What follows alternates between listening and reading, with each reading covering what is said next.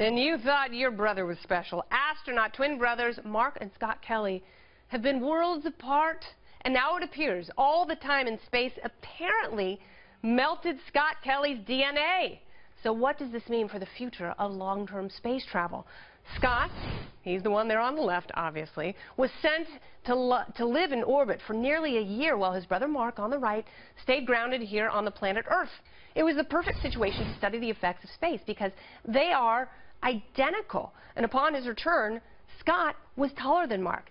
Scientists now say his DNA has changed as well, so could space travel be the best way to combat the aging process, or are future spacemen doomed to die a slow death? Here to discuss, it's theoretical physicist Dr. Michio Kaku. Welcome back, Dr. Kaku. Glad to be on the show. So uh, let's talk about this. Some interesting stuff. That's um, right. So Scott Kelly was taller, at least for a little while, because his spine had decompressed in microgravity. That's right. Now, for you Mars buffs who want to go to Mars after 2030, yeah. there's good news. 13 and, years away. And some bad news about going to Mars. Okay, first of all, uh, Scott was two inches taller after going into outer space. And by the way, when you go to bed at night, your spinal cord also decompresses slightly, and you're actually taller at night than you are during the day. Interesting. So he grew two inches, but after he came back to Earth, gravity compressed his spinal cord and the vertebrae, and he went back to normal again. Aww. So that effect is temporary. But you can grow up to three inches being weightless in outer space. Yeah, tell Peter Brady that. He would have been there uh, very first. Um, the telomeres were also longer. It's the opposite of what scientists thought. And those are the caps at the end of chromosomes that have to do with the aging process, correct? That's right. Every textbook says premature aging is one of the side effects of being up in outer space. However... And that would mean shortened telomeres, right? That's right, because the telomeres are like a clock. Mm -hmm. They get shorter every time they divide. However, his telomeres got longer, and people were saying, oh my God, I mean, is that the fountain of youth going yeah. into outer space? However, it was a temporary effect. Damn. And you also have to realize that cancer cells also can stop the telomeres, mm. and that's why cancer cells are immortal.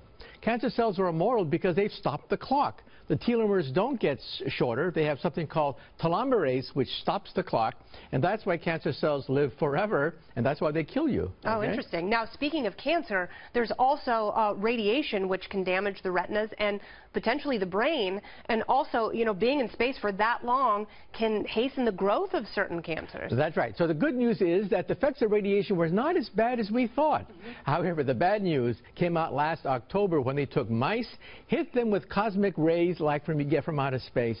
And the mice began to get very anxious and suffer from a certain amount of brain damage.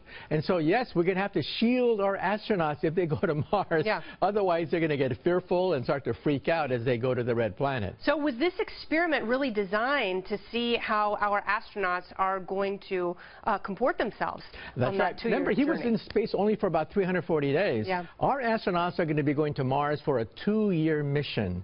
Seven to eight months to get to Mars, a few months to do scientific experiments, and another seven to eight months to go back to the planet Earth. That's two years in outer space with lots of cosmic radiation.